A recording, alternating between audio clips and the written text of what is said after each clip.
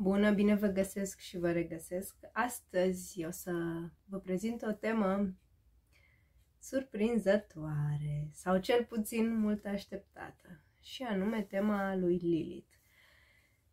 Este o temă despre care nu am vorbit foarte des, nici la cursuri, nici în general pe, pe pagină. Nu prea am scris articole despre asta și veți vedea imediat de ce. Însă vreau să vă anunț cu bucurie că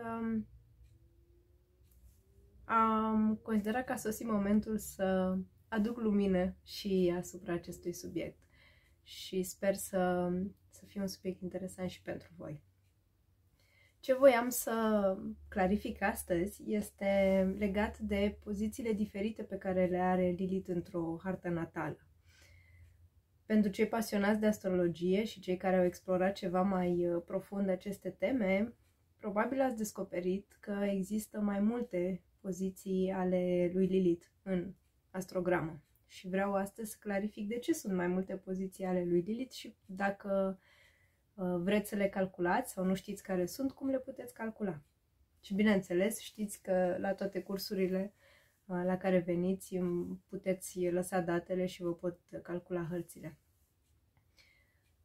Avem în primul rând asteroidul Lilith. Asteroidul Lilith, care în site-ul astro.com, dacă vreți să calculați uh, acasă, puteți intra în astro.com și există la secțiunea Extended, Extended Chart, există o secțiune jos unde puteți trece codul asteroidului 1181 și veți vedea, ca prin miracol, o să apară în harta voastră.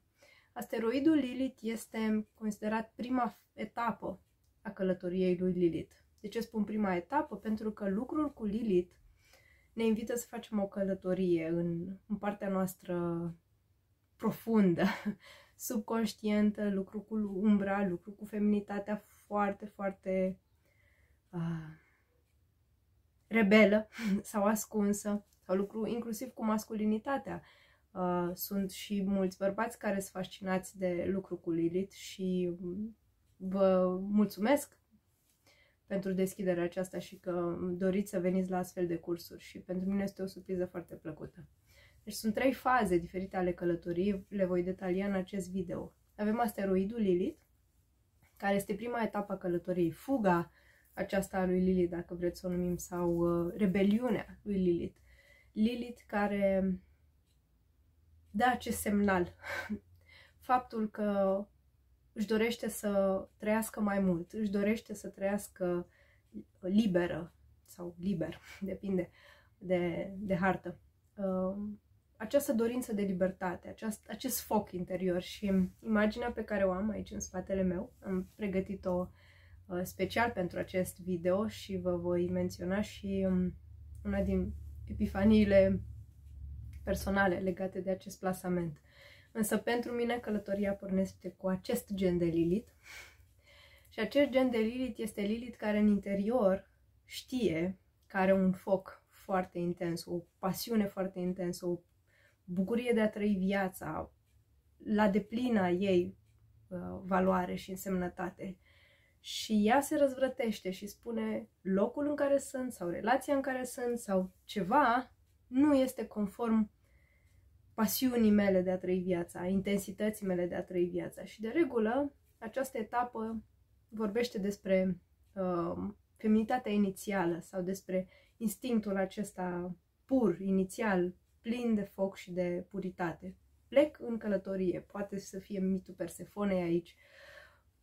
Oricum, acea curiozitate de a pleca într-o călătorie foarte profundă și puteți analiza unde este asteroidul Lilith, ce semn, în ce semn, în ce casă, puteți să vedeți ce relații ați avut cu persoane care au acest semn și vă pot indica uh, punctul de plecare. A doua fază a lui Lilith se numește Dark Moon Lilith. Dark Moon Lilith sau Valdemat uh, Lilith este considerată a doua lună pe care o avem luna pe care nu o vedem, ascunsă și întunecată. Și aici Dark Moon Lilith vorbește despre durerile prin care trece Lilith în momentul în care uh, face cumva cunoștință cu latura aceasta întunecată. Avem aici trăiri interioare puternice, distorsiune adevărului, frică, ură, gelozie.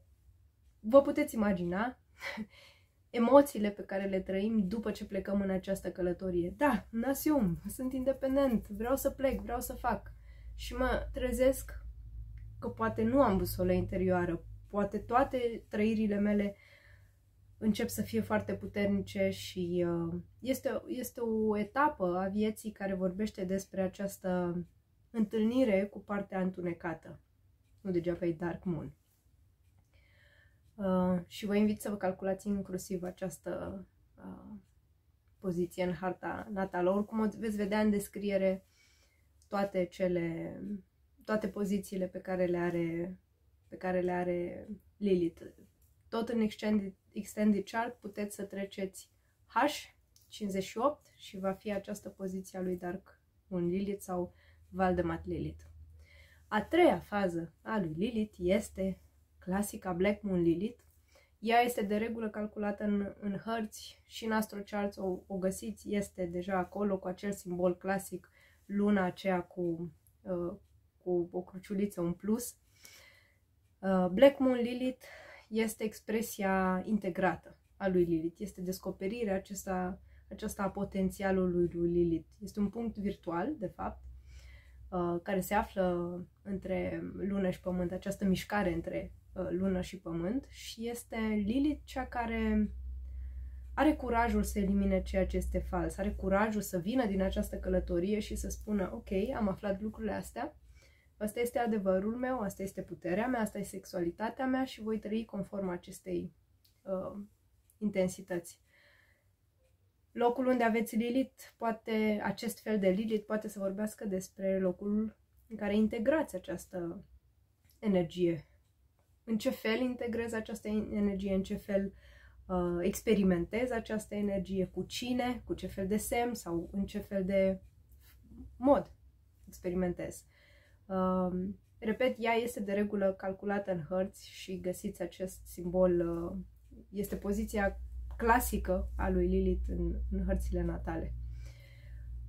Deci acestea sunt cele trei faze, vă, vă invit să le explorați și dacă simțiți să veniți la retreat pe care îl organizăm uh, cu mare drag vă așteptăm, el este în acest weekend uh, al lui noiembrie, nu știu când veți vedea video, dacă îl vedeți după, Uh, sperăm că ne putem întâlni la, cu următoarea ocazie la, la astfel de retreat. Și ce pot să vă spun, apropo de epifaniile sau epifania pe care am avut-o, um,